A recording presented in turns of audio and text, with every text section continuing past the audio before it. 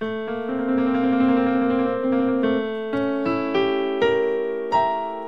sont 32. 32 a habité encore l'abbaye en ce jour d'automne 1986, au bout d'une route à faire pâlir ceux qui l'empruntent. En mille ans, rien n'a changé, ni la raideur de la voie, ni son vertige. 32 cœurs solides, il faut l'être quand on vit vide, 32 corps qui le furent aussi dans leur jeunesse. Dans quelques heures, ils seront un de moins.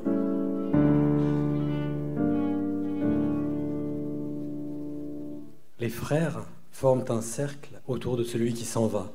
Il y a eu bien des cercles, bien des adieux, depuis que la sacra dresse ses murs au-dessus d'eux. Il y a eu bien des moments de grâce, de doute, de corps arc-boutés contre l'ombre qui vient. Il y a eu et il y aura d'autres départs. Ils attendent donc patiemment. Ce mourant-là n'est pas comme les autres. Il est le seul en ces lieux à ne pas avoir prononcé de vœux. Pourtant, on lui a permis de rester pendant 40 ans.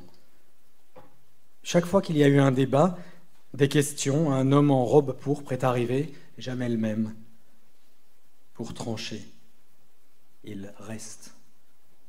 Il fait partie du lieu aussi sûrement que le cloître, ses colonnes, ses chapiteaux romans, dont l'état de conservation doit beaucoup à son talent.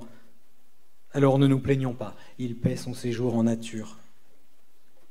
Seuls ces points dépassent de la couverture de laine brune, de chaque côté de la tête, un enfant de 82 ans en proie à un cauchemar. La peau est jaune, au point de rupture, vélin tendu sur des angles trop vifs, le front luisant, ciré par une fièvre grasse. Il fallait bien qu'un jour sa force le lâche. Dommage qu'il n'ait pas répondu à leurs questions. Un homme a droit à ses secrets. D'ailleurs, ils ont l'impression de savoir. Pas tout, mais l'essentiel. Parfois, les avis divergent. Pour tromper l'ennui, on se découvre des ardeurs de commère. C'est un criminel, un défroqué, un réfugié politique. Certains le disent retenu contre son gré.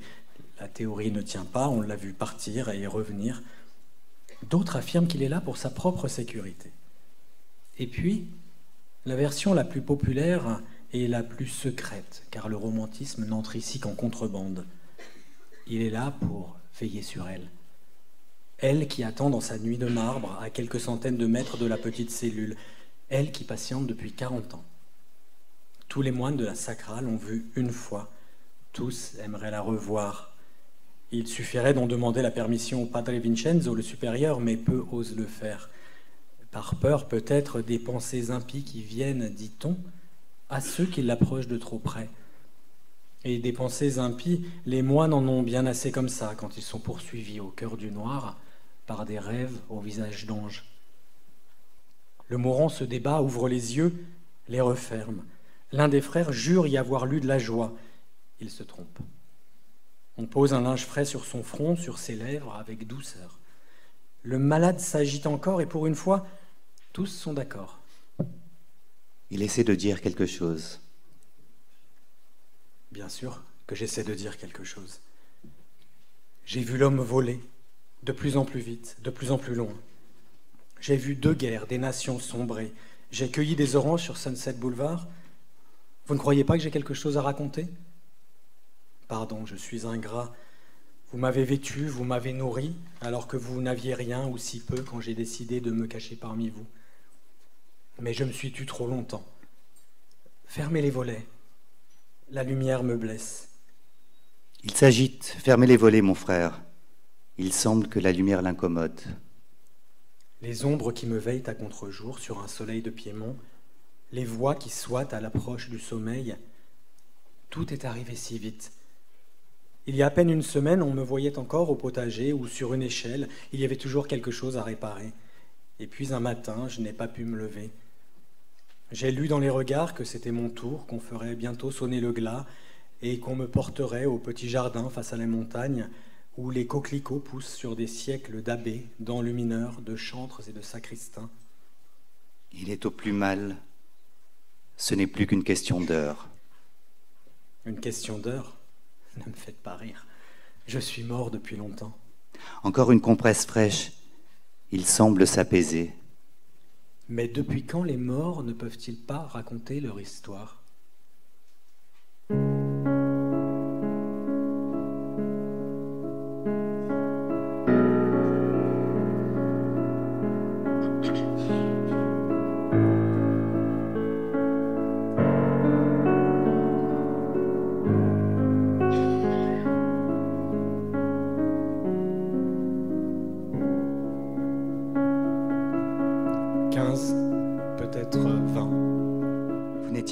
Plus pour accompagner le corps inerte de la mère d'Ali dans sa dernière promenade.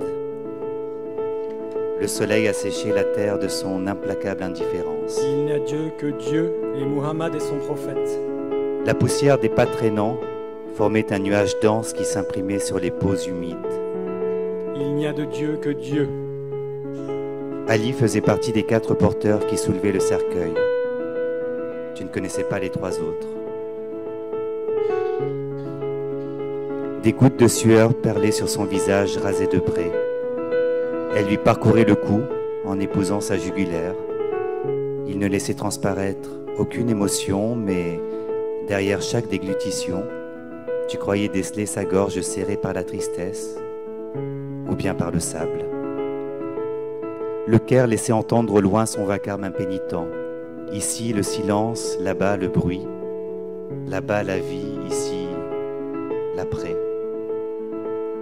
face à l'affairement de millions d'individus, que pèse le recueillement de 20 personnes 20, peut-être 15.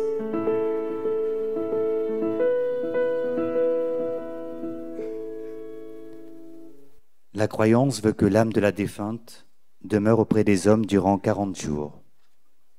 Cela faisait pourtant quelques mois qu'elle semblait s'être dissociée de ce corps prématurément usé.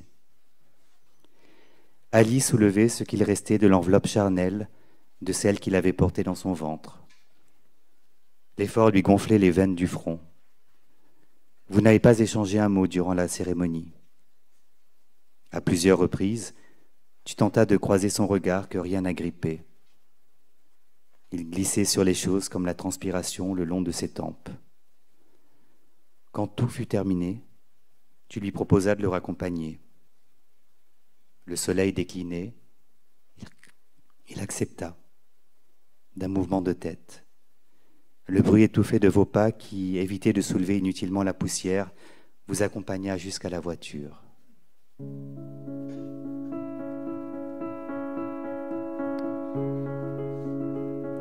En ouvrant la portière, une exhalaison de cuir réchauffé s'échappa. Ali ne disait rien. Tu tournas la clé un raclement de moteur accompagna la cassette qui reprit sa musique à l'endroit où elle s'était arrêtée. Ce bruit soudain te fit tressaillir. Tu coupas le son. Ali ne réagissait pas. Le front appuyé à la vitre de sa portière, il t'offrait la vue de son dos humide, sa chemise collée à ses omoplates saillantes. Tu aurais voulu percer son mutisme, deviner les mots qui auraient pu l'apaiser. Par instant, il te semblait qu'il dormait, le corps abandonné au chaos d'une route inégale. À d'autres, qu'il pleurait, le sanglot étranglé par la pudeur. Tu en voulais à ces klaxons absurdes qui t'empêchaient d'écouter son silence. Le cadran indiquait 19h12 dans ses chiffres en bâtons verts lumineux aux angles suspects. À mesure que vous gravissiez le Moatam, tu voyais au loin les colonnes compactes de voitures qui se déversaient péniblement dans les artères du Caire. À droite, les lumières rouges, à gauche, les blanches. Quand tu étais enfant, ton père te racontait que les voitures devaient leur place dans l'une ou l'autre file à la couleur de leur lumière. Tu étais fasciné par cette règle de circulation qui produisait de si beaux effets nocturnes, sans compter que tu n'en connaissais aucune autre qui soit à ce point respecté par les automobilistes kérotes Quel âge avais-tu lorsque tu compris enfin que les phares de tout véhicule étaient blancs à l'avant et rouges à l'arrière, les lumières que tu distinguais ne correspondant qu'au sens de chaque voie selon l'angle où tu la regardais? Pour quelle raison l'esprit retient-il ce genre de détails? Tu approchais de chez Ali, tu garas ta voiture devant sa maison, dans cet emplacement que l'obscurité t'aurait dissimulé si tu ne le connaissais pas. Comme il ne réagissait pas à l'arrêt du moteur, tu levas ta main droite du levier de vitesse qui avait cessé de trembler, pour la poser sur son épaule. Ta bouche s'approchait de son oreille pour lui murmurer que vous étiez arrivé. Il se tourna. Ses yeux étaient grands ouverts. Tu ne reculas pas. Un souffle d'abord, puis une chaleur douce. Ses lèvres se posèrent sur les tiennes, à moins que ce soit l'inverse. Après tout, comment le saurais-je?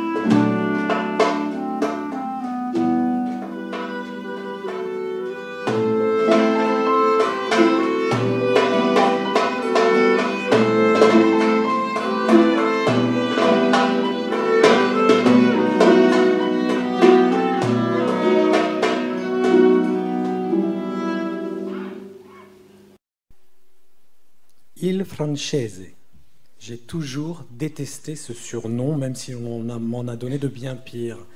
Toutes mes joies, tous mes drames sont d'Italie. Je viens d'une terre où la beauté est toujours aux abois. Ce n'est pas pour rien qu'un Italien, Mercalli, donna son nom à une échelle de destruction, celle de l'intensité des tremblements de terre. Une main démolit ce que l'autre a bâti, et l'émotion est la même. Mais c'est un fait, je suis né en France en 1904. Mes parents avaient quitté la Ligurie en quête de fortune 15 ans plus tôt, à peine mariés. En guise de fortune, on les avait traités de rital, on leur avait craché dessus, on s'était moqué de leur façon de rouler les R. Or, pour autant que je sache, le mot rouler commence bien par un R. Mon père avait échappé de justesse aux émeutes racistes d'Aigues-Mortes de 1893. Deux de ses amis y étaient restés, le brave Luciano et ce vieux Salvatore. On ne les évoqua plus jamais sans ces adjectifs. Des familles interdirent à leurs enfants de parler la langue du pays pour ne pas faire rital. Elles les décapaient au savon de Marseille dans l'espoir de les blanchir un peu. Pas chez les Vitaliani. Nous parlions italien, mangions italien, nous pensions italien, c'est-à-dire à, à coups de superlatifs où la mort était souvent invoquée, les larmes abondantes, les mains rarement au repos. On maudissait comme on passait le sel. Notre famille était un cirque et nous en étions fiers. En 1914, l'État français, qui avait mis si peu d'ardeur à protéger Luciano, Salvatore et les autres, déclara que mon père était sans l'ombre d'un doute un bon Français, digne de la conscription, d'autant qu'un fonctionnaire l'avait, par erreur ou par jeu, rajeuni de dix ans en recopiant son certificat de naissance. Il partit la mine longue, sans fleurs à son fusil. Son propre père avait laissé la vie dans l'expédition des Mille en 1860.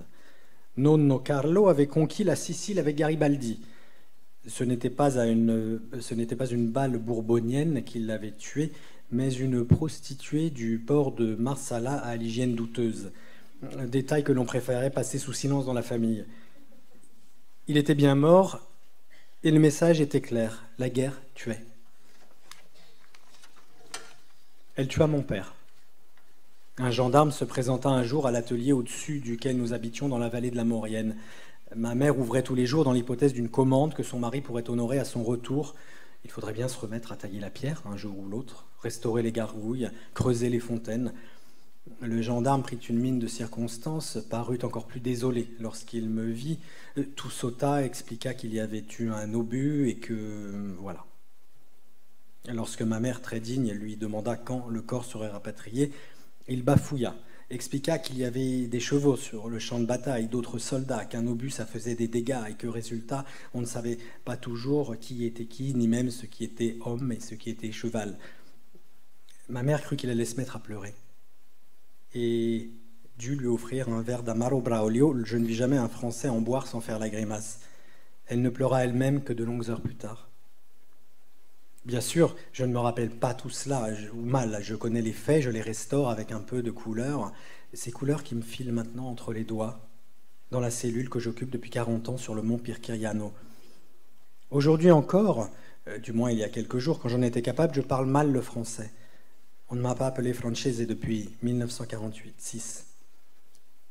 Quelques jours après la visite du gendarme, ma mère m'expliqua qu'en France, elle ne pourrait pas m'offrir l'éducation dont j'avais besoin. Déjà, son ventre s'arrondissait d'un frère ou d'une sœur qui ne naquit jamais, euh, en tout cas pas vivant, et elle me noya de baisers en m'expliquant qu'elle me faisait partir pour mon bien, qu'elle me faisait rentrer au pays parce qu'elle croyait en moi, parce qu'elle voyait mon amour pour la pierre malgré mon jeune âge, parce qu'elle savait que j'étais promise à de grandes choses et qu'elle m'avait donné un prénom pour ça. Des deux fardeaux de mon existence, mon prénom fut sans doute le plus léger à porter. Je l'ai pourtant détesté avec fougue. Ma mère descendait souvent à l'atelier pour voir son mari travailler. Elle comprit qu'elle était enceinte lorsqu'elle me sentit tressaillir sur un coup de burin.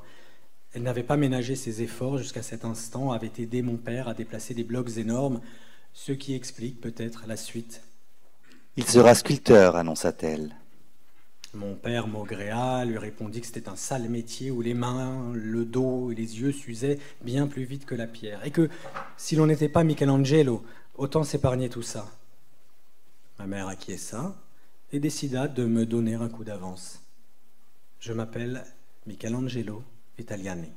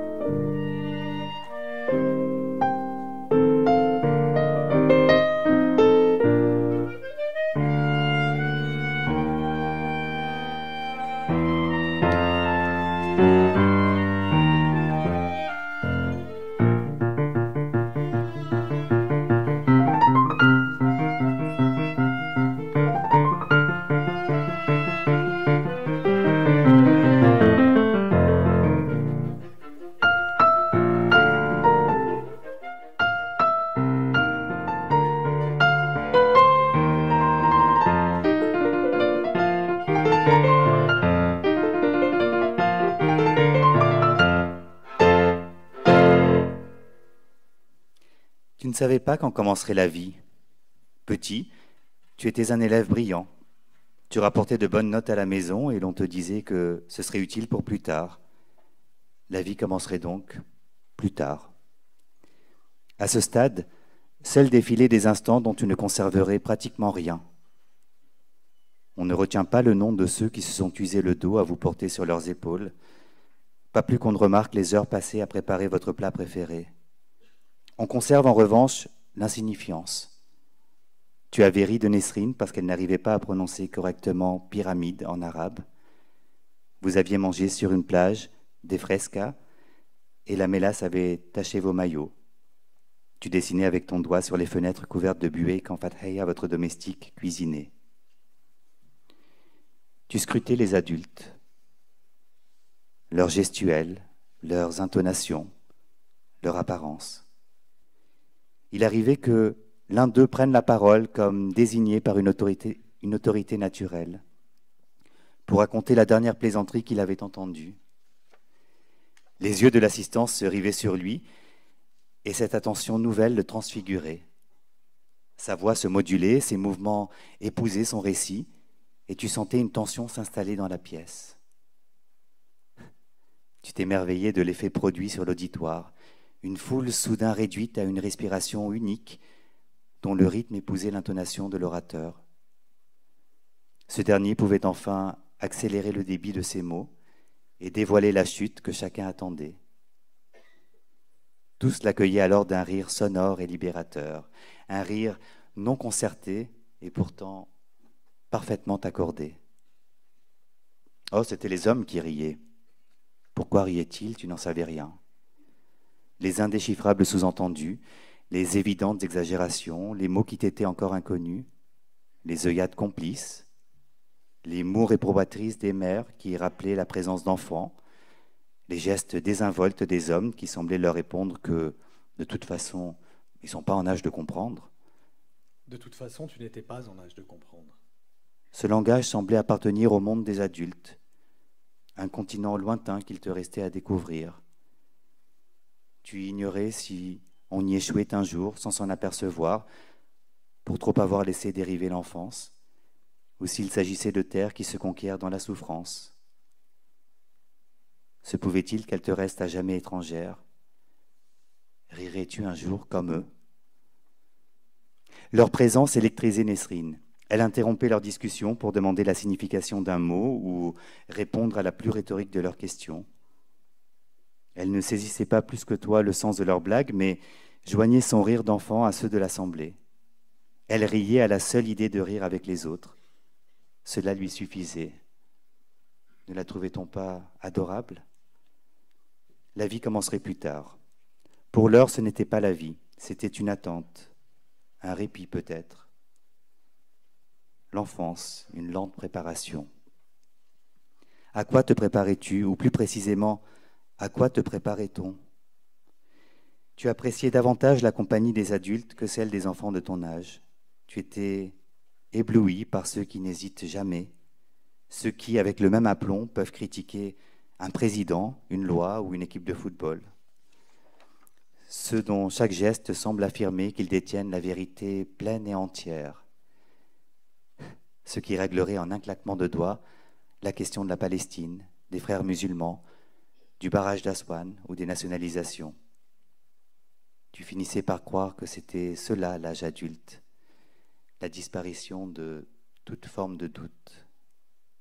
Un jour, il t'apparaîtrait pourtant avec évidence qu'il n'existe que très peu d'adultes véritables, que nul ne se départ tout à fait de ses peurs originelles, de ses complexes adolescents, du besoin inassouvi de venger ses premières humiliations.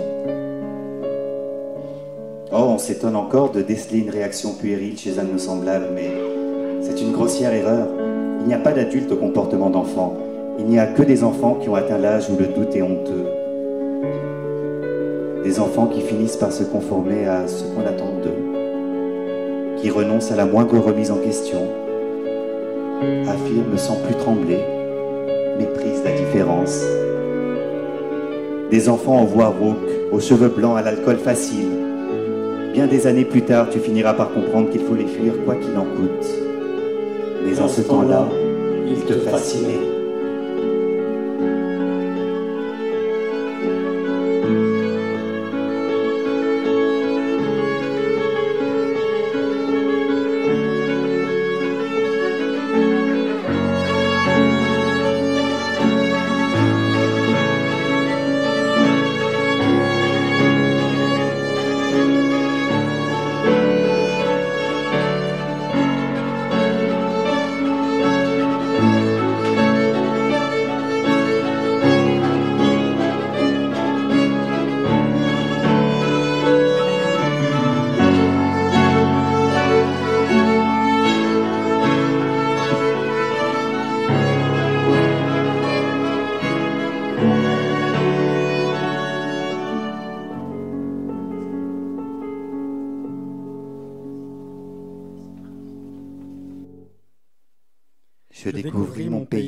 Octobre 1916 en compagnie d'un ivrogne et d'un papillon.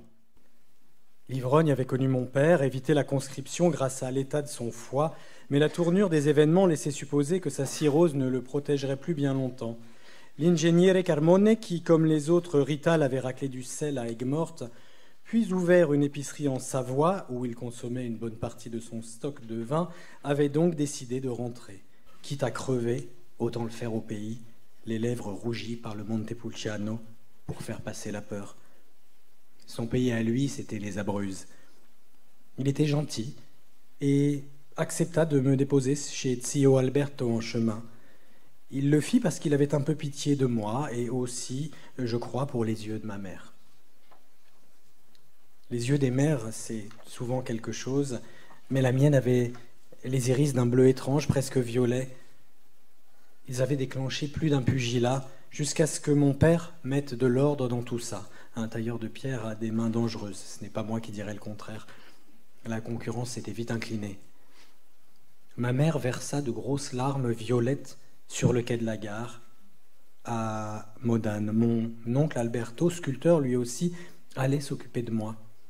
Elle jura qu'elle me rejoindrait vite dès qu'elle aurait vendu l'atelier et gagné un peu d'argent. L'affaire de quelques semaines, quelques mois ou plus, il lui fallut vingt ans.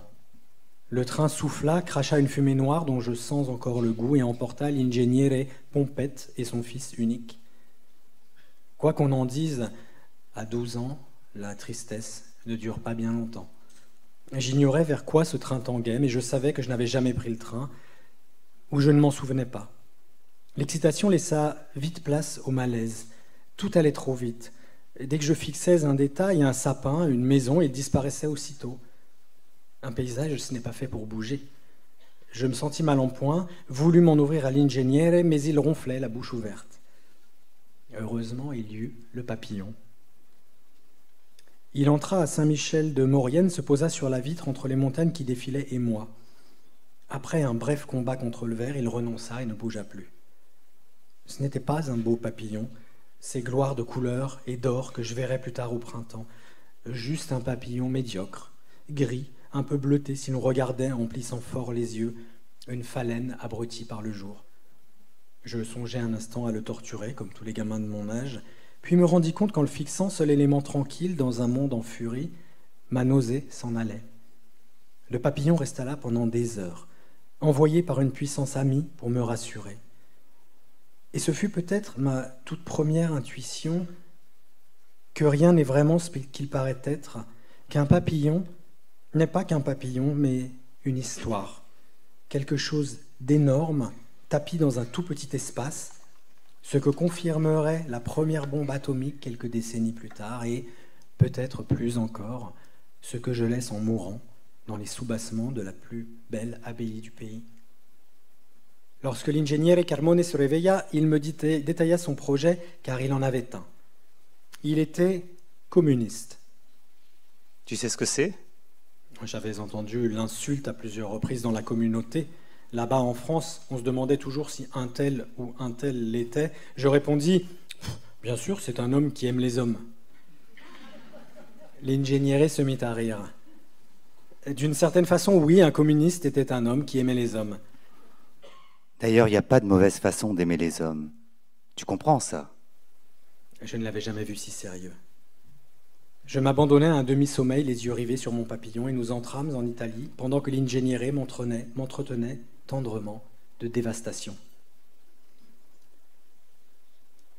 L'Italie et moi, nous sommes étreints en vieux amis à notre première rencontre. Dans ma précipitation à sortir du train à la gare de Turin, je trébuchais sur le marchepied et atterris les bras en croix sur le quai de la gare. Je restai un instant allongé sans songer à pleurer avec la béatitude d'un prêtre à son ordination. L'Italie sentait la pierre à fusil. L'Italie sentait la guerre. J'arrivais sans le savoir en plein futurisme. Le monde n'était que vitesse, celle des pas, des trains, des balles, des changements de fortune ou d'alliance. Tous ces hommes, pourtant, toute cette masse semblait freiner des quatre fers. Les corps exultaient, se pressaient vers les wagons, les tranchées, un horizon barbelé. Mais quelque chose entre deux mouvements, deux élans, hurlait Je veux vivre encore un peu. En bon ingénieur qu'il était, l'ingénieur tira l'enveloppe de ma mère de sa poche et remit de la graisse dans les rouages qui s'étaient grippés. Nous pûmes bientôt repartir. Je refusais de monter dans un fiacre, désignait un tramway. Carmone Mogrea consulta une carte, posa quelques questions, établit que le tramway ne nous déposerait pas trop loin de l'endroit où nous devions nous rendre les fesses sur un banc de bois, je traversais la première grande ville de ma vie. J'étais heureux. J'avais perdu mon père, j'ignorais quand je reverrais ma mère, mais oui, j'étais heureux et ivre de tout ce qui était encore devant moi, cette masse d'avenir à escalader, à tailler à ma mesure. Dites, signor Carmone. Oui. C'est quoi l'électricité? Il me dévisagea avec ahurissement, parut se rappeler que j'avais passé la première décennie de ma vie dans un village de Savoie que je n'avais jamais quitté. C'est ça, mon garçon. C'est comme une bougie alors? Mais qui ne s'arrêtent jamais. Ce sont des électrons qui circulent entre deux morceaux de charbon. C'est quoi un électron Un genre de fée Non, c'est de la science. C'est quoi la science? Les flocons tournaient légers comme une robe de fille. L'ingénieur répondit à mes questions sans impatience ni condescendance. Il me conduisit sans faillir jusqu'à la porte de Zio Alberto.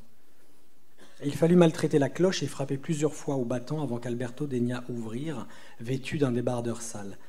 Les mêmes yeux troubles que l'ingénieur fissuré de vénules rouges. Les hommes partageaient un amour immodéré pour la grappe. Ma mère avait écrit pour annoncer ma venue. Il n'y avait donc pas grand-chose à expliquer. Voici votre nouvel apprenti, Michelangelo, le fils d'Antonella Vitaliani, votre neveu. Je n'aime pas qu'on m'appelle Michelangelo.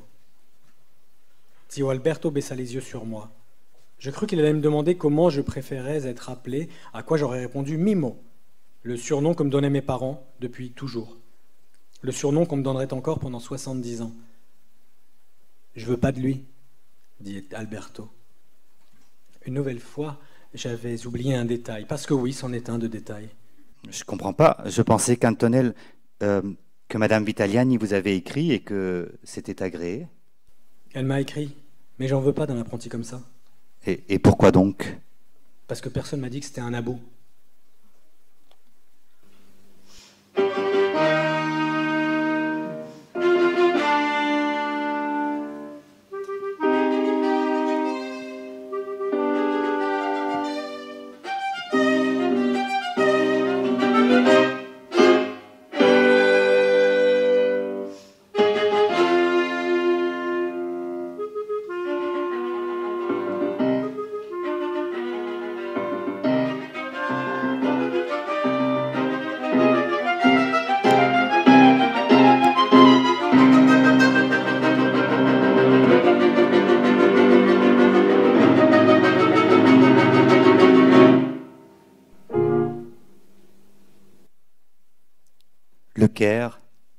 1999. Le cumin. La poussière, déjà. La coriandre, la benzine, les ânes, leur déjection, le sable. La poussière, encore. La sueur, la cardamome, les gaz de combustion, les oignons frits, les ordures brûlées, les fèves chaudes, le jasmin. La poussière, obstinément. L'asphalte devenu visqueux sous le règne sans partage du soleil. Le Caire était une entêtante présence olfactive, qu'une infinité d'éléments composés. On ne se rend compte de ces choses-là qu'au moment de les retrouver. Avant, elles ne sont pas. Leur abstraction est semblable à celle des battements du cœur. Elles sont vitales, mais invisibles. Elles n'existent qu'à partir du moment où l'on a vécu sans. Elles reviennent alors avec une violente évidence, aussi envahissante que leur présence était jadis anodine. À ce moment précis, elles étaient pour toi le Caire. Tu avais été pris d'un vertige au moment de descendre de l'escalier mobile qui conduisait au tarmac de l'aéroport international du Caire. Il avait suffi de quelques pas hors de l'avion pour que tu sentes tes jambes se dérober. Tu t'étais raccroché à la rampe, tandis que le passager devant toi rattrapait de justesse ta valise. Le Ramsin teintait d'ocre le ciel de la capitale.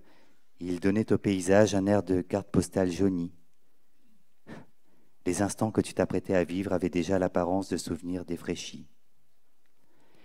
Indifférent à tes pensées, le vent avait continué à charrier son sable brûlant entre deux déserts. Tu n'avais pas cherché d'autre explication à ton œil soudain humide et à ta respiration oppressée. Le même prénom et le même nom. Mais personne autour de toi pour les prononcer sans les écorcher. C'est aussi cela l'exil. Le même prénom et le même nom. C'est à peu près tout ce que tu avais en commun avec l'homme que tu étais. Cela faisait quinze ans que tu n'avais pas foulé le sol empoussiéré de ton pays. Quinze années passées à oublier méthodiquement la pulpe blanche des melons d'Ismaïlia, le stationnement du palace, où défilaient les images des films américains projetés sur les écrans lointains, les cassettes de Feyrouz et de Piaf que ta mère faisait jouer pendant les repas, les calèches longeant la corniche d'Alexandrie, le goût des premiers oursins de l'année sur la plage d'Agami. Tu avais cinquante ans et quelque chose au fond de toi savait que c'était la dernière fois que tu y retournerais. Ta mère était morte trois jours plus tôt. La voix brisée de Nesrine au téléphone t'avait touché, davantage peut-être que la nouvelle elle-même. À la vérité, cela faisait bien longtemps que tu étais orphelin. Ainsi que tu le lui avais fait promettre, personne n'était venu te chercher à l'aéroport. Tu demandas en anglais tu demandas en anglais à un taxi de te conduire à la villa de ton enfance, où ne vivait plus aucun membre de ta famille. Te prenant pour un étranger, il fit preuve d'une remarquable créativité dans la multiplication de détours inutiles pour rejoindre le quartier où tu avais passé l'essentiel de ta vie. Qu'importe. Tu étais ce soir-là un touriste que personne n'attendait. Il tenta à plusieurs reprises une conversation rapiécée d'anglais et d'arabe, à laquelle tu n'offrais que des mouvements de tête polis pour toute réplique, faisant mine de ne pas comprendre quand il s'adressait à toi dans cette langue qui n'était plus la tienne. Les obsèques se tiendraient le lendemain. Tu y rencontrerais certainement le mari de Nesrine. Que savait-il des raisons de ton départ? Quel mot Nesrine avait-elle employé pour l'évoquer? Peut-être était-il au courant avant même qu'elle ne lui en parle. Ton nom revenait-il dans les repas du dimanche, au moment de se resservir la molreya de Fatheya Et ses amis de la famille, ceux avec lesquels tu avais grandi, ceux que ton père soignait, ceux-là que toi-même, après lui, avais soigné. Tout le Caire serait présent, autant dire toute l'Égypte. Ce n'est pas sans raison que les Égyptiens ne prononcent jamais le nom de leur capitale. Ils préfèrent l'appeler l'Égypte, conférant à leur ville-pays tout ce que ce raccourci revêt d'impersonnel et de gigantesque à la fois. Que penserait-il à ta vue? Que traduirait leur regard en découvrant ta présence? Y serais-tu réellement aussi indifférent que tu avais voulu t'en convaincre au moment d'acheter ton billet d'avion?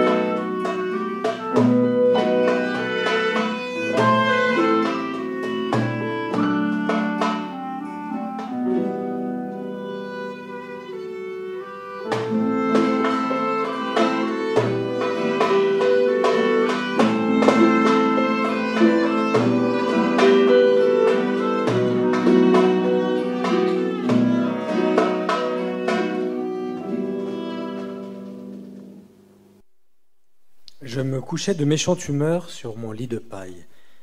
Alinéa me rejoignit un peu plus tard, trébuchant sur l'échelle qui montait au grenier. Il jura, pouffa, s'approcha de mon coin à quatre pattes. Il avait eu droit à quelques vers de la piquette de Zio Alberto. Dis donc, le patron était pas très content de te voir avec cette histoire d'ange. Il n'arrête pas de dire que tu pètes plus haut que ton cul. J'y peux rien, c'est que mon cul est trop bas. Hein? Rien. Bonne nuit. Hé, Mimo. Hmm. On va au cimetière? Peu de mots promettent autant d'aventures que cimetière. Du moins lorsque l'on a 13 ans. Je me redressais sur un coude. Au cimetière? Ouais. Chacun doit faire un tour complet tout seul. C'est lui qui se dégonfle pour embrasser la fille de Giordano. Giordano, l'aubergiste. Sa fille était une beauté voluptueuse de 14 ans, curieuse de tout.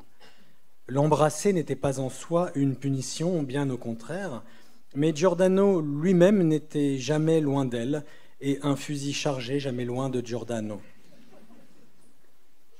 Il fallait revenir vers Pietra d'Alba pour se rendre au cimetière, puis juste avant la montée vers le village, tourner à droite, là où un chemin coupait la route principale. Après un court passage dans la forêt, on atteignait la terrasse ombragée où se trouvait le cimetière, dont la taille surprenait pour un village de 500 âmes. Mais la région était riche en grandes familles qui trouvaient l'endroit charmant, loin des souillures de la côte, et l'avaient élu comme lieu de villégiature éternelle.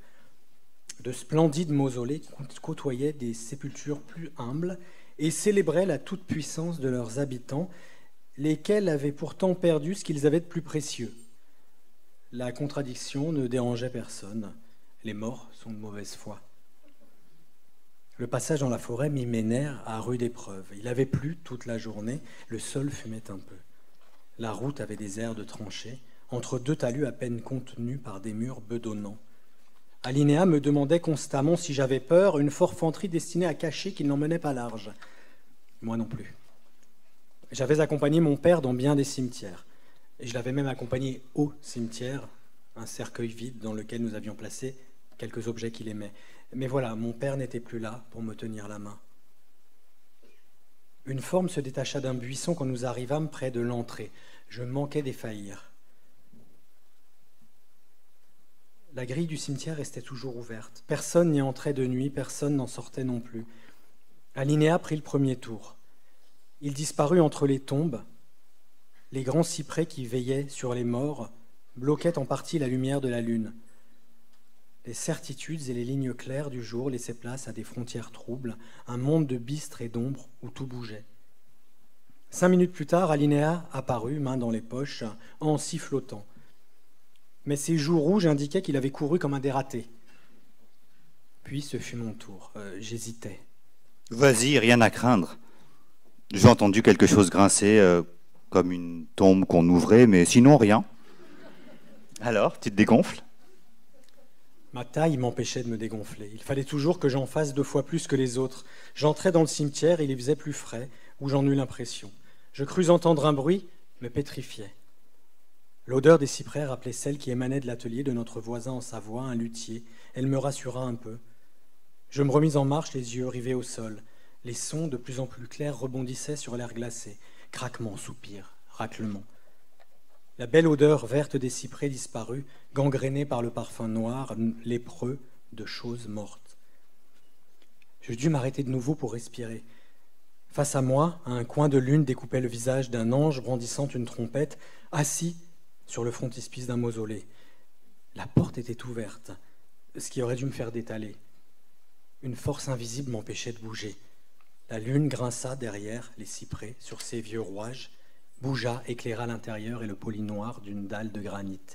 Alors, je la vis. La forme se leva lentement, s'arrachant à la dalle, et avança d'un pas hésitant vers moi, tête baissée, le visage caché par un voile noir. Elle le releva sur le seuil, me fixa de ses yeux spectraux au fond d'orbites immenses. Elle n'était pas plus grande que moi. Sa peau était très pâle, mais ses lèvres étaient pleines, roses de vie, du sang des vivants dont elle devait se nourrir chaque nuit quand elle quittait l'étreinte froide du tombeau. Des hommes beaucoup plus courageux que moi se seraient évanouis.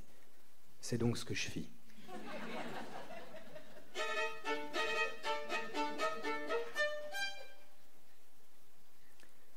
Je dormais à point fermé quand je perçus une présence. Ce parfum de fleurs d'oranger, juste un peu plus prégnant, je grognais, mais la présence demeurait insistante et je me redressais sur un coude. La carte d'anniversaire gisait à terre où je l'avais lâchée dans mon sommeil.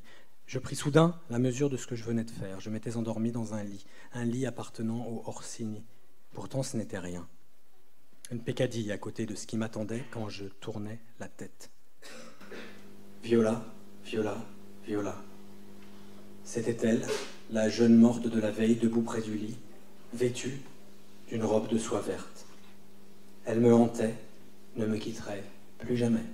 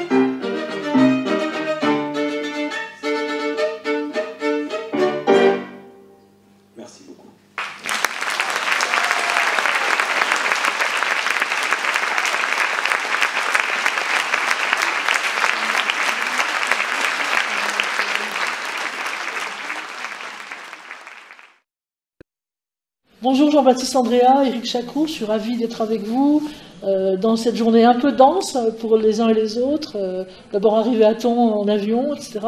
Et puis vous avez tout à l'heure une, répétition avant votre lecture à deux voix. C'est précisément sur tout ça qu'on va parler, mais quand même deux mots sur euh, vos différents textes. Jean-Baptiste, on se connaît depuis Marraine, et quelle apothéose cette année avec ce prix Goncourt. Je suis vraiment ravie pour vous. C'est une reconnaissance, et puis j'imagine aussi pour vous de rencontrer 450 000 lecteurs, c'est ça? Ouais, à peu près. voilà, peut-être pas tous en, vrai. Mais... Bref, donc euh, euh, oui, une reconnaissance et puis un aboutissement, je pense. Même si euh, on a déjà parlé ce matin de, votre livre, mais moi j'ai trouvé des échos quand même des livres précédents, notamment ces personnages qui se rencontrent, des rencontres miraculeuses. Je pense au narrateur de Marraine qui rencontre ce personnage qui devient sa reine. Et je me demandais si Viola de certaine façon, n'était pas aussi la reine de, de Mimo. Hein. oui, c'est c'est presque. Je crois que j'avais lu dans un article, c'est comme si les personnages de ma reine grandissaient. je trouvais que c'était une jolie description que je me suis donc appropriée tout de suite. Euh, oui, c'est vrai qu'il y a ça. Moi, j'aime bien réécrire euh, en fait la même rencontre différemment, explorer les différents possibles trouve que c'est d'une richesse infinie. Et c'est, ça. Puis c'est un grand moteur dramatique et, un grand vecteur d'émotion. Les relations humaines, j'en forcément une, une, porte ouverte en disant ça, mais ça n'en est pas moins vrai. Et donc je trouve que comme matériau littéraire, c'est d'une richesse euh, incroyable. Puis j'ai pensé au personnage de Emmanuel aussi. Ah oui, qui évoque un petit peu le narrateur de, de Marraine, ce personnage un peu, un peu fantasque, un peu hors des clous. Euh. Oui, mais j'aime bien moi les gens hors des clous. Je me suis toujours senti moi un peu hors des clous. Puis je crois que si vous allez demander à la majorité des auteurs, des autrices qui sont là, mais tous un peu spéciaux, perçus comme tels. Euh, et nous, en général, on se trouve parfaitement normaux, mais ce, regard des autres qui, qui considèrent qu'il y a une normalité et une anormalité. Euh, je, trouve, ça tout à fait euh, incroyablement tyrannique et donc j'aime bien aller euh, m'intéresser à ce qui se trouve de, l'autre côté de la normalité. Alors, puisque vous parlez de normalité, je vais passer la parole à Eric parce que. Qui l'incarne. Pas du tout. Mais votre personnage dans votre livre s'appelle Ce que je sais de toi. C'est un livre construit en trois parties. On, on, pourra l'évoquer éventuellement. En tout cas, qui met en scène ce personnage de Tarek, qui, était dans une certaine norme hein, au départ. Oui, euh, qui, avait, une vie toute tracée. voilà, l'autoroute devant lui, il sera un médecin. Euh, Comme son père. Il fera un mariage dans, sa, dans son cercle social. Voilà, tout va bien se passer, sauf que voilà, il y a une rencontre. Et alors là, euh, entre les deux textes, il y a évidemment cette histoire d'un amour impossible hein, entre Mimo et Viola, même s'ils s'incarnent malgré tout, et puis vous, entre Tarek et Ali. Et voilà, donc le fil de ce texte, c'est ça, c'est euh, ce, dérapage, ce changement de cap, cette rupture aussi. Voilà. Ce déraillement, c'est vraiment un déraillement. C'était une vie qui était mise sur des rails, comme ça, tout était programmé, ça devait faire une existence tranquille, facile, confortable. Mais bon, les existences confortables ne font pas forcément des très bons romans, alors... c'est sans doute vrai. Alors, ce qui m'a beaucoup plu aussi dans votre texte, c'est de découvrir un monde euh, la fin des années 70-80, la fin d'un monde en réalité. Cette société levantine euh, en Égypte, qui existe dans certaines grandes villes, dont vous dites ce sont des bulles euh, d'Occident, d'Europe, bulles halogènes, voilà, françaises aussi, très francophones. Très francophones, très francophones. En fait, c'est des, des, Syriens, des Libanais qui, qui étaient de culture francophone. qui habitaient dans ces grandes villes, qui souvent d'ailleurs parlaient le français avant même de parler l'arabe, et qui, et qui se fréquentaient, qui étaient plutôt chrétiens, assez occidentaux dans l'âme. Et qui occupaient certains postes dans la société aussi. Oui, oui, qui étaient très présents par exemple dans, dans les médias, qui euh, l'équivalent des galeries Lafayette en, en Égypte, euh, c'était la maison Sednaoui. Donc c'était, c'était voilà, des, des, euh, des, gens qui étaient dans des postes à responsabilité, dans les douanes, dans le coton, et, et qui vivaient bien dans cette espèce d'Égypte post-colonial qui leur était quand même assez confortable. Il y, a, ce club, euh, le Gézari euh, Sporting Club, là, le Sporting qui, Club. qui, a d'abord été un lieu des Britanniques, hein, et puis qui est fréquenté par cette société euh, à la fois un peu élitiste, et en même temps ça se mélange quand même pas mal dans cet endroit. Oui, Oui, oui, jusqu'à ce qu'on leur retire des cartes euh, à une certaine époque, mais oui, oui. Euh, bah, jusqu'à présent, il y, a, il y a des clubs comme ça où on peut, on peut aller manger, de- de- les communautés se fréquentent là-bas, se rencontrent. C'est un peu une manière de se donner rendez-vous quand on ne veut pas aller chez l'un, chez l'autre, on va au club. Euh, ça reste un endroit de rencontre. ouais. Alors, ce- cette société qui va finir par s'exiler, en fait, hein, comme votre famille, vous l'avez connue donc par des, des, des propos ra- rapportés par votre famille Oui. par, euh, oui, moi je connais bien l'Égypte parce que j'y suis allé une quinzaine de ouais, fois. ouais. Mais l'Égypte que je vois quand j'y vais Ouais. n'est pas du tout l'Égypte que je même. raconte. Voilà.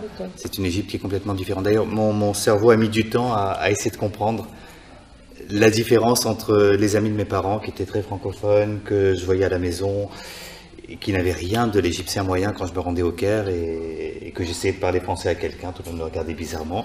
Et je me disais, c'est pas possible. Moi, tous les Égyptiens que je connais parlent français. Une grande partie d'entre eux sont chrétiens. C'est pas du tout l'égyptien moyen. Et puis il a fallu que je reconstitue un petit peu ce portrait-là, que je comprenne d'où ça venait. Et, voilà.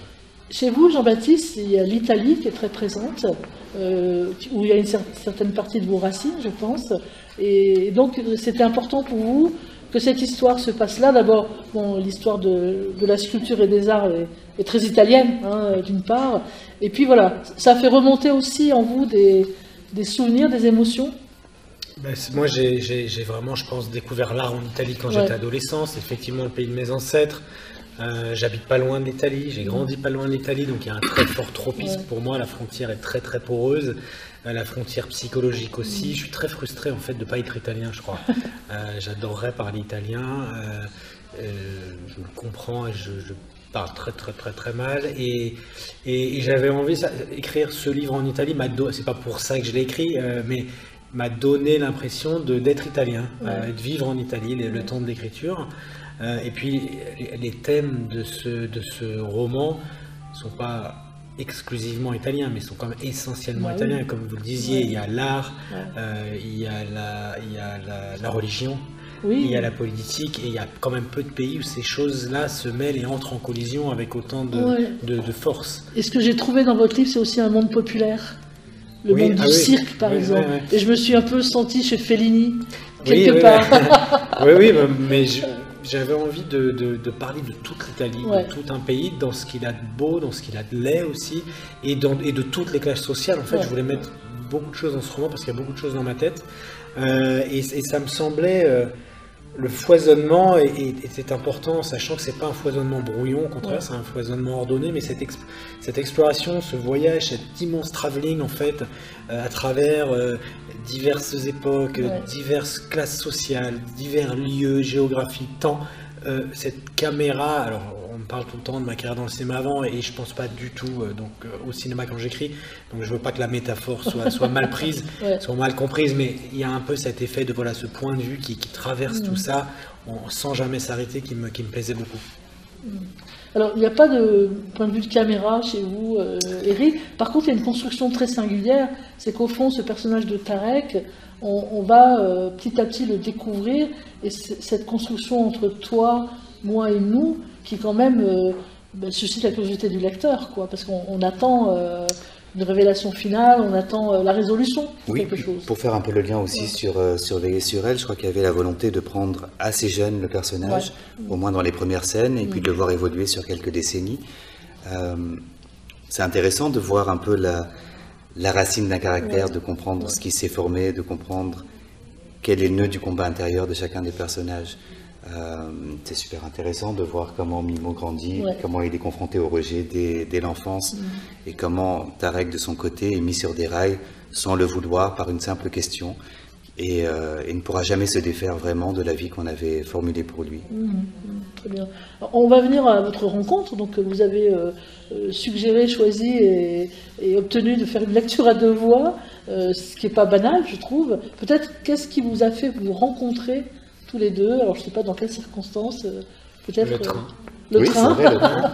On s'est retrouvés en fait le premier jour de la rentrée littéraire qui a été mouvementée et très belle pour tous les deux. Ouais, ouais. Euh, le 1er septembre en partant en Suisse. euh, à Morges. Et en Ah fait, oui, d'accord. moi, je me voyais la, la photo d'Eric dans tous les. Dès que j'ouvrais le site Fnac, on était ensemble sur le prix Fnac, je voyais la tête d'Eric partout et tout le monde avait l'air d'aimer son roman dans les premiers avis qui étaient publiés. Je me disais, ah, le salaud, un concurrent. et en fait, je suis allé, donc je l'ai reconnu sur le quai, je suis allé le voir et oh, je sais pas, on a une sorte de, de coup de foudre amical, on a l'impression de se connaître. Non, euh, puis c'est drôle, en plus, tu, tu lisais J'étais en mon train de, livre, ouais, je lisais le tien, ouais. Ah ouais. parce qu'on était tous les deux invités à la même émission de télévision. Ah oui, exact, on- c'était avant la grande librairie, ouais. Ouais, on, on lisait chacun le- les livres des autres pour se préparer à l'émission. Et donc c'était assez incroyable de, de se rencontrer comme ça, puis voilà, dans, dans le train d'être tous les deux avec la couverture de l'autre en face. On Et, a vraiment euh, sympathisé tout de suite. Et puis alors, on s'est aussi retrouvé sur le fait que tout- nous, nous, dans notre façon de travailler, on, on construit beaucoup. Oui, en fait, ce qui n'est pas ouais. très à la mode en littérature euh, française. Euh, donc là, je dis française France. hein, je ne sais pas comment Oui, ça se passe oui, au Québec, s'il y, a- y une influence extérieure qui impose plus un travail de structure. Mais moi, on a discuté de ça dans le train. Je lui dis, mais ton roman, en fait, ce que, ce que j'adore, en fait, c'est la, sensation qu'il est construit. Et donc, euh, chaque mot contient potentiellement tout le roman. Euh, euh, et, et ça, c'est- voilà, on s'est aussi retrouvé sur cette façon de travailler. Et moi, je suis un peu en recherche de gens qui travaillent comme ça parce que je me sens un peu seul parfois quand je discute et tout le monde me dit non, mais j'écris au fil de la plume. tu, tu parlais des, des, euh, des écrivains jardiniers, des écrivains architectes, c'est ça? Oui, mais sauf que moi, j'ai toujours dit à cette question qu'un bon jardinier est un architecte avant tout. Ça, c'est ce qu'on me demandait tout le Oui, temps. écrivain, jardinier, architecte. Et voilà, moi, je dis. Ça se construit aussi un jardin. Mais ça se construit aussi et surtout. Et un jardinier est un architecte, un bon jardinier. Il faut aller demander à Gilles Clément ou à des gens comme ça. C'est des types qui, qui vont vous dire qu'ils balancent pas des graines comme ça. Il y a une pensée. Et Eric, il a mis 15 ans à, mettre ses- à préparer ses graines. Donc euh, voilà, moi j'ai mis que 10 mois. Mais moi, je, voilà, ce travail de structure, on le sent dans cette pureté de ce que je sais de toi. Je veux dire, cette, Ouais. chaque mot est essentiel et ça pourrait pas être un autre. Il n'y en a pas un de trop, il n'y a, il y y a pas de mot. Enfin, moi, j'ai, ça, ça m'a beaucoup marqué. C'est- Et c'est pour ça que je, je voulais moi aussi savoir, avoir confirmation de l'instinct que j'avais en le lisant. Si Eric m'avait dit, euh, ouais, je l'ai écrit en deux semaines, ouais, ça m'aurait énervé quand même. Bon, après, Ah. pour, pour, pour atténuer un peu l'histoire, merci déjà, mais pour atténuer un peu l'histoire des 15 ans, je ne oui, pas comme un moine bénédictin Oui, oui, tous les matins. avec, sûr. euh, Alors, peu importe, c'est quand même une construction. mais oui, Tu savais où tout s'insérait. Ah, le, plan, ça a toujours été important pour moi. Le, le fait d'avoir un plan, de savoir exactement chapitre par chapitre quels sont les personnages en présence, les informations qui s'échangent, mais c'est, c'est- je sais que c'est la même chose pour, euh, pour toi. Et, euh, et d'ailleurs, il y a tout un tas de choses qui se dénouent dans Veiller sur elle, dont on Oui. voit qu'elles ont été plantées dès le tout. Tout début. bien sûr. Et voilà, ce genre de parallélisme, c'est, très compliqué de le construire si on écrit au fil de la plume et qu'on n'a aucune idée d'où C'est vrai s'en va. que on le sent dans Veiller sur elle, il y a assez souvent des indices, des, des annonces en fait qui nous préviennent de ce qui va nous arriver. Donc euh, tout à l'heure j'ai- questionné, vous n'étiez plus là Jean-Baptiste, mais dans la table ronde, il y a une phrase sur Marie Nimet qui dit euh, lecteur reste avec moi. Et cette façon justement voilà, de, de garder le lecteur avec soi et de l'emmener euh, là où c'est prévu d'aller. Voilà. Alors je voudrais qu'on vienne à la construction de la lecture. Comment vous avez imaginé cette lecture à deux voix? C'est pas facile hein, de, de, de mélanger comme ça, de faire se croiser. Vous avez pris quel axe? Quel choix Quel- Alors, moi, je me rappelle plus de la jeunesse parce Ouais. que j'avais commencé une grosse tournée et tout le mérite en revient à Eric en fait. moi, j'ai dit je, je. Je te suis. Oui, j'ai Ouais. dit je te suis parce Ouais. qu'on a vu ce, ce rapport et j'ai. je- En fait, Eric s'est gentiment proposé quand moi j'ai dit j'arrive même pas à envisager janvier comment. Là. Euh, et Eric a dit tiens, euh, je crois que c'est ton idée ou je dois te parler avec Joël. En tout cas, c'est où Joël a proposé, je sais pas, mais c'est Eric qui a organisé le truc. Moi, je voyais arriver, c'était comme son livre. Ouais. Impeccable. C'était magique. Je me Oh bah. suis complètement laissé porter. Moi, je Ouais. ne prends, je n'ai aucun crédit. Je- je- Joël a aussi beaucoup aidé. En fait, les, les textes de Jean-Baptiste avaient déjà été choisis. Puis j'ai essayé de trouver des textes qui pouvaient avoir un parallèle avec, Ouais. euh, avec le sien, soit dans le thème, soit parfois juste dans des petites tournures de phrases. D'accord. Ou des... Très bien. Donc j'espère que dans la salle, ça va se ressentir ou pas. Et, et puis le jeu, c'était de se dire à quel moment est-ce qu'on veut introduire la voix de l'autre. Ouais, Ouais. Et, euh, chasser, ça c'est une très bonne. Mais ça, c'est pas moi. hein, Je suis pour rien. Sinon, dans votre, euh, pour finir, dans votre euh, pratique d'écriture, quel rapport vous avez avec la voix haute, les lectures à voix haute? Moi, je, je lis toujours. Ouais. Je, je lis à voix haute, j'écris à voix Ouais. haute. J'ai besoin de ça. Euh, une, une, euh, une phrase qui ne sonne pas, c'est une phrase qui ne passera pas à l'écrit. Et parfois, et jusqu'à maintenant, parfois j'ai des, des petites rencontres en librairie qui sont organisées, des causeries, etc. On me fait lire des textes, des passages parfois que j'avais un peu oubliés. Et en le disant à voix haute, parfois je me dis, mais cette phrase, ça va pas du tout. C'est une catastrophe. J'écris dans la nuit à mon éditeur en disant, non, non, pour la prochaine réimpression, il faut changer cette Ah, phrase, faut la faire comme ça. Oui, donc en fait, chaque, chaque réimpression est un peu différente de la précédente. Il est d'accord, l'éditeur? Pour l'instant, je, je dis aux Français que le Québécois a accepté, donc euh, il peut pas dire non. Mais bon, Et vous, Jean-Baptiste Euh, moi, je le faisais au début, mais Ouais. j'écrivais des petits livres. Et quand j'ai commencé un peu à le faire sur celui-là qui fait 600 pages, Ouais. je me suis dit, je vais pas Eh m'écouter ben non, parler pendant c'est 600 ça. pages. Et puis, je, je trouve que j'arrive plutôt pas, enfin, mieux maintenant voix. à, à- Ouais, oui, ouais. à, à l'entendre cette Ouais. voix sans avoir à prononcer. Ouais. Il m'est aussi arrivé, mais justement beaucoup moins maintenant, mais ce que décrit Eric, de lire et de me dire, oh, c'est le rythme est pas bon, enfin c'était pas fréquent Ouais. parce que avant j'avais relu à voix haute justement Ouais. et là en général pour le moment ça me réarrive pas donc je dois arriver parvenir à entendre la voix euh, dans ma tête. Très bien. Dans votre euh, roman, il y a cette expression des jumeaux cosmiques. Est-ce que vous avez le sentiment d'être des jumeaux littéraires? Là, on est- non, on n'est pas des jumeaux littéraires, on est tout, enfin c'est Ouais. ça qui est chouette d'ailleurs Ouais. dans le fait qu'on fait pas du tout la même chose Ouais, et en même fait. temps Il y a des... je sais pas, il y a, enfin moi je ne sais pas, je peux pas, euh, il faudrait qu'on puisse juger notre propre texte et on le juge mais non, mais en tout cas, il y a, on- on- il y a, il y a eu quelque chose sur, sur ces deux livres dans cette Ouais. rentrée, on en a beaucoup parlé, et, et souvent, les gens qui aiment l'un ont eu tendance à aimer l'autre, ça je l'ai beaucoup vu. Ouais. C'est pas forcément une vérité absolue, Ouais. mais euh, il y avait beaucoup de gens qui me disaient euh, Ah, J'ai adoré votre livre et celui d'Eric. Euh, Ouais. Voilà. Donc, je, voilà, je Quand même. je- au- Même les lecteurs ont senti cette... euh, mais il y a eu cette gémellité de, Oui. de trajectoire Oui, aussi. quand. Là où il y a une gémellité aussi, c'est quand même que euh, moi, quand j'ai eu mon premier, publié mon premier roman, il a eu euh, ton roman a eu une trajectoire, tu as eu encore plus de succès que, que mon premier roman, Euh, et on a eu le même prix, le même premier grand prix qu'on a eu, qui est le prix Féminin des lycéens, sachant oui, qu'on s'est rencontrés le 1er septembre, Voilà. le jour de la rentrée. Donc il y a Ah quand ouais, même des quand trucs même. marrants dans, Ouais. dans ce petit trajet qu'on a en commun. Quoi. Des coïncidences qui ont du sens Ouais, quand même. ouais, ouais. oui, puis alors de mon côté, il y a aussi une certaine forme d'inspiration du parcours de, de Jean-Baptiste, bien sûr. Mais, euh, mais oui, je- enfin, en fait, c'est toujours la difficulté, c'est quand on rencontre quelqu'un et qu'on a une sorte de coup de foudre humain, on a un peu peur de lire le livre après, on se dit, ah, si c'était pas à la hauteur de la rencontre, ce serait moche. Et j'avais beaucoup de chance parce qu'il avait écrit Veiller sur elle, donc... Ouais, euh. Moi, j'étais déjà assez avancé dans son livre quand je suis allé lui parler. Ouais. Donc, je savais que j'allais pas avoir de problème. aurais changé de pas à mentir. Ah bah oui, sinon j'aurais j'aurais changé de wagon. Très bien. Merci à tous les deux. Merci Et bonne beaucoup. lecture tout à l'heure. Merci. Merci. Merci Daniel. Parfait. À votre service.